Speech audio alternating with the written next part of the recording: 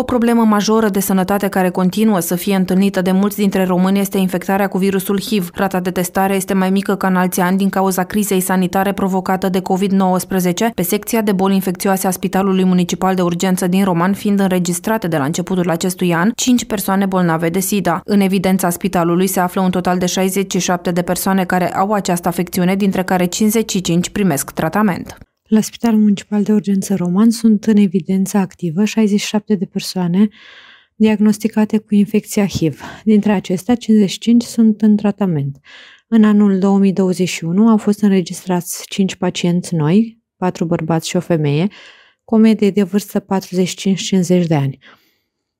În acest moment uh, nu sunt pacienți internați cu infecția HIV la Spitalul Romașcan, cele cinci cazuri noi evidențiate anul acesta fiind cu tratament antiretroviral la domiciliu. La nivel național există peste 16.000 de români purtători ai infecției cu virusul HIV, arată ultimele date ale compartimentului pentru monitorizarea și evaluarea infecției HIV în România. Pentru această afecțiune s-au găsit în ultimii ani o serie de tratamente cu pastile sau injectabile care îi ajută ca boala să nu avanseze sau chiar să reducă virusul la niveluri foarte mici.